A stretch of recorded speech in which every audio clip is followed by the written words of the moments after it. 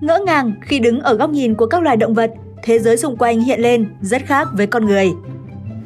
Nhiều loài vật trên thế giới cũng có hai mắt giống chúng ta, nhưng mà góc nhìn về thế giới trong mắt chúng lại hoàn toàn khác. Cùng tin nhanh 24 giờ online khám phá xem nhé.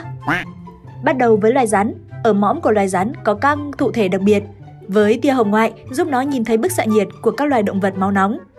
Mắt của loài cá thì có tầm nhìn 360 độ do có cơ quan thụ cảm tia cực tím và thấu kính hình cầu hơn mắt người. Chúng có thể nhìn được các màu sắc như chúng ta, nhưng do môi trường sống đặc biệt là ở dưới nước nên màu sắc cũng có chút sai khác. Đối với loài bò, võng mạc của chúng không có những thụ thể cần thiết nên chúng không thể nhìn được màu đỏ, thay vào đó chỉ nhìn được xanh lam và xanh lá cây mà thôi.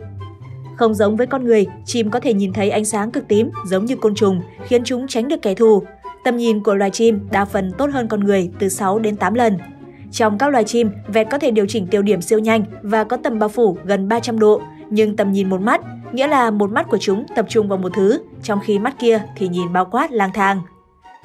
Còn loài ngựa thì sao? Do vị trí đặt mắt của chúng nên là chúng có một điểm mù ở trước mặt. Thêm nữa, thế giới của loài này cũng chỉ có 3 màu, vàng, xanh lục và xanh lam mà thôi. Còn lũ mèo thì chỉ có thể nhìn được màu nâu, vàng và xanh lam rõ rệt mà thôi. Khi trời tối đen như mực, đồng tử của chúng có thể điều chỉnh để nhìn rõ hơn vạn vật trong bóng tối. Các bạn cảm thấy kiến thức này có thú vị không nào? Chia sẻ quan điểm cùng tin nhanh 24 giờ online cũng như tiếp tục đồng hành cùng kênh để cập nhật những tin tức và kiến thức thú vị.